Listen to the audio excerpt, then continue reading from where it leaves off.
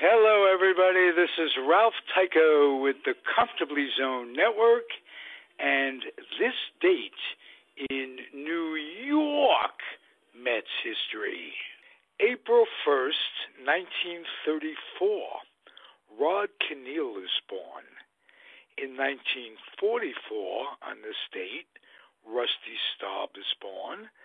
In 1948, Willie Montañez Guillermo is born. And in 1985, Daniel Murphy is born.